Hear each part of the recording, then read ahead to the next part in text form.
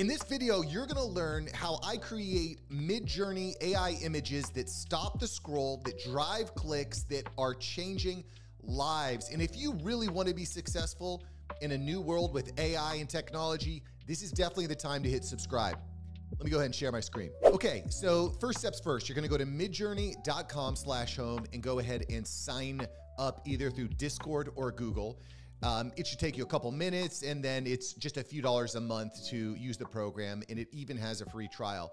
Um, once you're set up there, you're gonna go ahead and log in. Okay, so once we're in Discord, we're gonna go here uh, ahead and click over here on this Midjourney option over here on the left. It's going to bring up all sorts of stuff that's going to look really crazy and wonky. You're going to be confused. That's okay. I'm going to walk you right through it. I'm going to hold on to you. So on the left-hand side here, you're going to see there's getting started, there's announcements, rule status, that kind of thing. What we're going to do is we're going to pop over into one of these newbie rooms.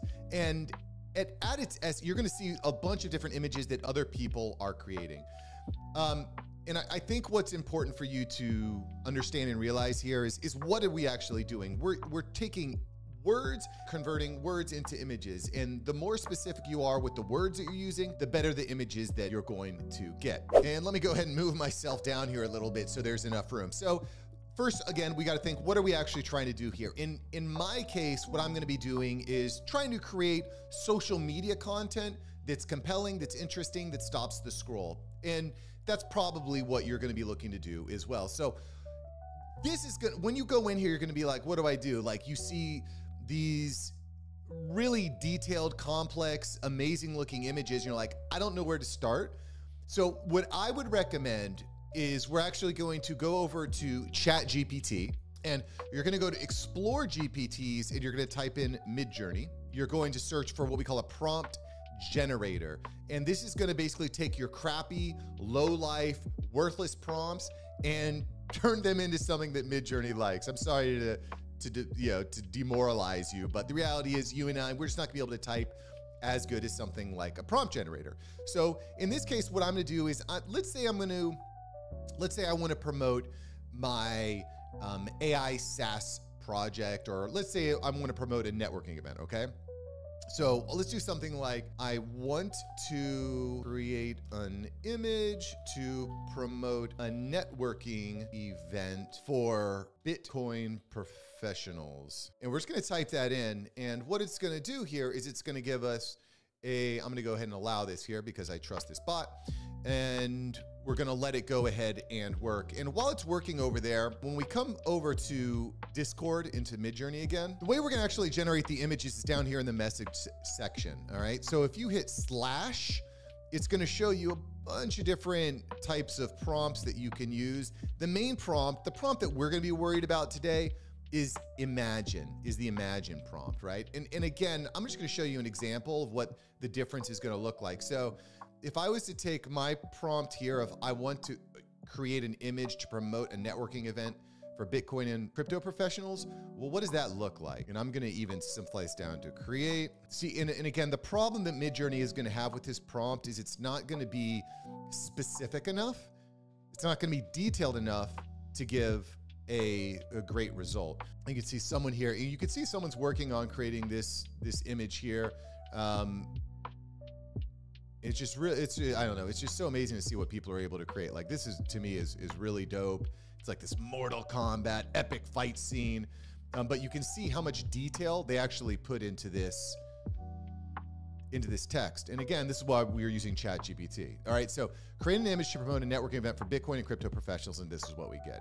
And this is actually not this is actually not bad. This is actually kind of interesting. Like you got this like cartoon dude who's doing this anime stuff. That's actually kind of neat. This is actually not bad. And you know what else is cool about this is you get a, a wide variety. And so what you could do is you could say like, hmm, I really like this version. I'm gonna what we call upscale because it's down here. You're gonna see regenerate if you don't like any of the options. You can pop up if you want to pop up. You can create an upscaled version if you really like one of the versions, or you uh, can create additional versions. So let's say, for example, I like this manga style here. I can go to version, this would be version one, version two. And I can say, give me some more versions of this image because I like this kind of this art style. And again, what we're gonna do is after we get this, we're gonna actually see some additional results from ChatGPT. Take a little sip of coffee here. Let's go actually go, while we're waiting for this, let's go back over to ChatGPT and see what's see what's popping. Okay, so we've got a prompt here: futuristic networking event. Let's go ahead and copy this again, because what we want to do is kind of compare and contrast here. And we have a few different versions here. And you might say, uh, which one do I really like the best? I like this one, right? So we, let's say we really like version three. Then we simply click on upscale three, U3, and that's going to upscale it for us. And then we can simply download this image and we are good to go by saving this image. I just right click and save it. It's that it's that simple, y'all. It's that simple. Um, now, again, let's go ahead and let's imagine, and because again, what I want to do here is kind of show you the results from ChatGPT, because this is going to give us a much more lengthy version. Let's delete this part off the end. It says imagine prompt right? You can see we've got more detail here. A futuristic networking event for Bitcoin and crypto professionals illuminated by neon blue and gold lights. Attendees engage in discussions, holographic charts, displaying Bitcoin trends, et cetera, et cetera. And we can also tweak this while this is going. I'm actually going to do something different here.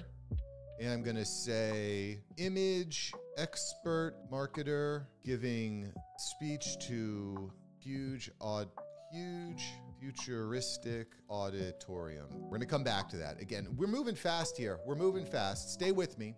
Stay with me here. Um, but here we here we've used this trend, and it's a futuristic networking event. Blah blah blah blah blah blah.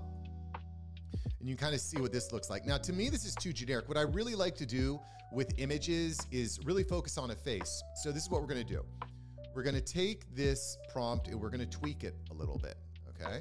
So we're going to again we go slash Imagine. Here's our prompt. Futuristic networking event for crypto professionals, illuminate my blah, blah, blah, attendees. Blah, blah. And what we're going to do here, and actually, you know what I'm going to do is I'm going to use ChatGPT again to optimize this. I want to create an image to promote a networking event for Bitcoin and, and crypto professionals. We want to focus on one person to welcome new attendees. And we'll see if this is going to tweak our prompt a bit because, again, when it comes to social media, people are going to really respond. Listen, I run a marketing agency and I understand that people respond to faces. All right. So what we want to do here is, is really focus on one person, one face.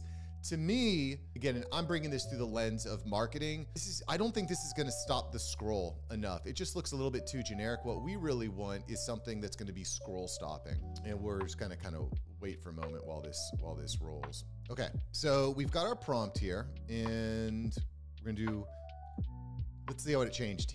A confident, charismatic Bitcoin expert stands on a futuristic stage, warmly welcoming attendees to an exclusive crypto event. I'm Just going to go ahead and get it going here. Uh, behind them, a massive holographic Bitcoin logo glows. A digital financial chart hovers midair. The audience listens attentively in a sleek, high tech conference hall with neon blue and gold lighting. Now, you might this is again important for you to consider. Your brand might not be blue and gold. It might be red and yellow. It might be green and black. Whatever your colors are, you you would want to go and change these to the the brand colors of your event. Okay? So this is getting closer.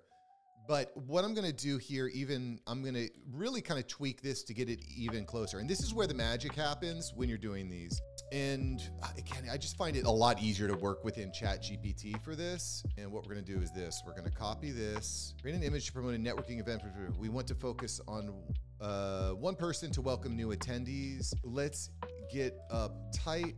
Let's uh, make the image realistic and have a close up shot on the host. Because again what i'm what i really want to do is is kind of go for a vibe that's that's going to be closer in on this person. Again this is this is a process of iteration. The more we do this the better we're going to get. And so this is interesting too that you're going to see here from this midjourney prompt generator is it's giving us multiple prompts. So if i don't love the prompts that we got from one for example i might start with like uh, a professionally a friendly bitcoin investor welcomes let's try this one and see what kind of results we get from this Imagine prompt. Professionally, a friendly Bitcoin investor welcomes guests at a cutting edge blockchain summit. The background features a sleek hall, blah, blah, blah, blah, blah. All right, let's see what this looks like. All right, again, so I think we're just getting closer and closer and closer. And what I'm gonna actually do here is I wanna show you something else that I think is gonna be relevant here. So what we're gonna do is we're gonna imagine a Beautiful, beautiful professionally friendly Bitcoin investor welcomes guests at a cutting edge blockchain summit. Okay, so let's see what the word beautiful does for our prompt here. Okay, so let's take a look here at our beautiful Bitcoin uh, crypto. So you can see how this is, I mean, like this this woman is definitely beautiful here, but what we what I'm missing here is like the Bitcoin. There's a little bit of Bitcoin in the background. That's that's kind of cool. Let's see if we can go a step further in our prompt. Okay, let's see if we can go a step further. So look here. The background features a sleek hall with transparent OLED screens displaying crypto trends.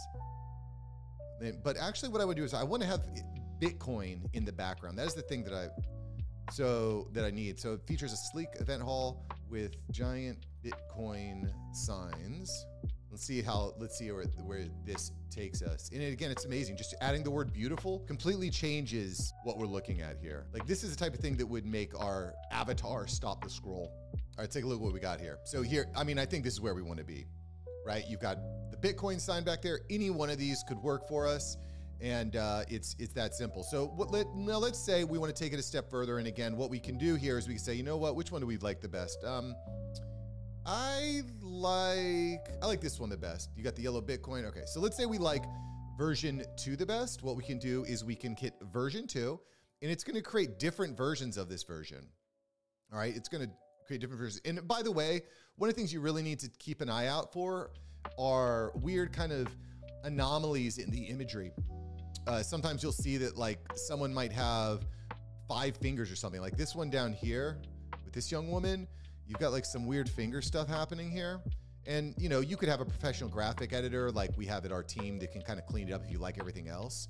Uh, or this, look at this girl, her hand is kind of like she's got like a sludge hand. These hands look look nice to me. So that's that's something I'm always looking for in these images. So, and again, let's let's take a look here. Again, I'm looking at the fingers. This has this person has like five index fingers. That would be no. That would be a no go. Um, so again, this is just kind of what I'm looking for here. And once I found the one that I really like, um, I will just say, okay, I want to upscale. Let's say version three is my favorite here. I want to upscale version three. Boom. Right click. Save. It doesn't want to right click. Or I can do this. Boom. Save. And that's how we, that's how easy it is, y'all. You kind of play with it. You find your flow. You get your graphic designer working on this. But this is how we are creating incredibly jaw dropping, content rich images for clients, uh, for ads. I would definitely recommend that you start jumping on this. If you like this video, I'll give you more Midjourney videos in the future. But if you like it, if you're interested, just put in the comments below. All right, thank you. Bye. Peace.